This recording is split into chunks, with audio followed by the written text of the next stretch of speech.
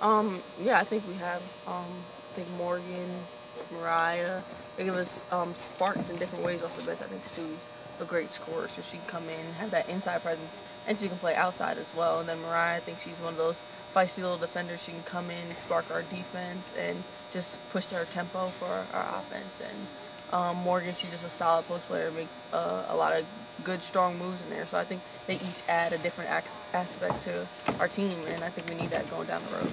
Is it something that they can provide under pressure, though? I mean, you see it every day in practice, but when games are getting tougher now, are they mentally strong enough to go out there and still perform? Um, I think they are.